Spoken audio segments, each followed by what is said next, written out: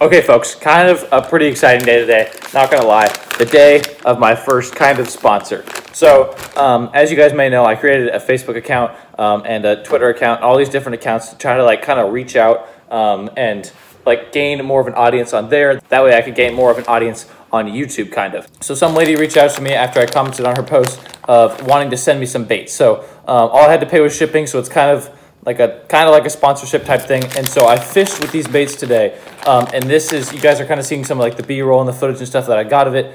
Um, and we're just going to be kind of doing a review. So we got five baits here. There's like a, there's three, or there's actually four kind of like fluke uh, things, two white, one kind of like that chartreuse and white uh, like pepper flake, and then another one kind of like a, I don't even know, like watermelon red, and then like clear shad color. And then we also got like this pink uh, punching bait. So the actual the cool thing about these is they actually uh, have glow sticks inside of the mold. So um, you can crack them. There's glow sticks inside of the bait when you do it. Um, quite honestly, my biggest concern with these baits, uh, and I fished with these today, so I kind of have more of like a uh, experienced kind of answer. So first thing, there's a lot of like extra little bits around the thing. You can see it's not like a defined shape, and I really do love like the ridge body on this side. My only problem is it's completely flat on this side, so that's probably just how the mold works. But that is kind of my problem with this. If like it's great if you're fit if this fish sees this side, but this side it's kind of bad. Also, um, again, I fished with this bait a little bit, and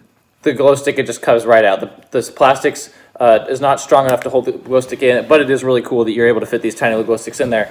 Um, and then with the fluke part, it's kind of it, it just kind of looks like a gummy worm. There's or a gummy like fish. There's no actual like texture to the fish. It's just four flat sides. Uh, actually, just three flat sides on most of the body, and that just kind of I, I just doesn't work for me too well. At least when I'm like looking at it, if I was a fish, I want to see like that texture, that lifelikeness, because that's the whole goal of to imitate something that is alive. Also, there's a couple extra like little bits on there. Not this hair. That's just me um, but like this little extra bits on there, which isn't a big deal. Again, like it's not it's not really going to affect it too much. Then moving on, it's kind of like the durability. I guess we can kind of add that into the last one, but these are definitely one fish baits. And what I mean by that is you can catch one, maybe two fish off the same bait. But as soon as I caught my first fish, that was the inside. The glow stick was completely gone.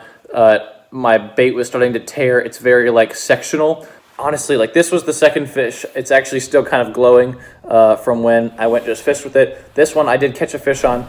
Um, so as far as like holding up goes, I I don't know. It's it's not uh, phenomenal. I'd probably give it a four out of ten. Uh, um, as far as casting, these things cast phenomenally. Like like great. I'd probably get out, give it like a nine out, or probably even like a ten out of ten. Like I could, couldn't really ask for anything else cast super smoothly. Uh, but then moving on to my absolute biggest critique, and I'm actually going to grab a hook for this one to show you guys what I'm talking about. Okay, so we've got the new Googan Squad um, dart and toad hook, and we're not actually going to use the little screw on top of there because uh, the bait, it, like the texture of it, I tried using it and it kind of just ruins it. But even if you were to do it kind of like the traditional fluke way of doing that, and then you're going to want to put it up through the fluke again, right? But turns out you can't because the glow stick is actually in the way. When you want to rig up the bait, there's no way to go really around the glow stick unless you want to end up putting it like on the outside of the bait like that. So you end up having to rig it up on the outside of the bait, which really inhibits that action. So that is my biggest critique, but this guy is pretty much done as well. He's kind of starting to separate. I think with the person uh, who made these baits, which I will definitely plug them because um, they are kind of my sponsor. They just told me to give an honest review, um, and that's what I'm really trying to give here. And like, don't get me wrong, these baits definitely caught fish. You guys can see that. So like, it's not something, all these ratings or whatever are not something that would completely inhibit the ability. And obviously the fish still thought these fish were, uh, these baits were good enough to like eat. Um, and actually I even had bluegill attacking this one when I was fishing that around before I caught my second fish. I had so many bigger bluegill attacking this. I am actually kind of in love with this color. If I had a bunch of like the non-glow stick ones, um, even like other different types of baits and stuff that were in this color, I definitely throw this quite a bit because that really just imitates that green, like sunfish type color. Overall, I'm kind of neutral on these baits. They definitely caught me fish. Um, so obviously the creator's doing something right. I honestly, I don't know how to say this. It's either Primu or Pri I, am pretty sure it's Primu.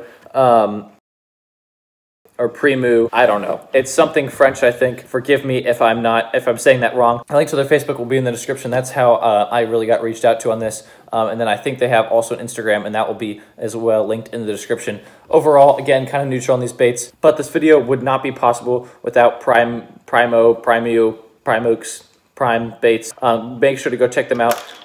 I think they're relatively cheap baits because they're obviously handmade. Um, if you guys want a pack, I definitely recommend picking them up. At least give them a shot. Um, what could go wrong? Like at least find if they just work perfectly for your ponds. And again, I caught every fish that I saw today. I saw those two fish and I caught those two fish. So as far as the fish thinking, like the fish's rating, I think they'd give them at least a 9 out of 10. So thank you so much to our sponsor. Um, I hope to be working with them in the future. Maybe if they branch out a little bit, maybe if they don't have like some glow stick ones and they definitely, if they improve, I will definitely um, probably use their baits in the future. So thank you guys for watching this video and we'll see you next time.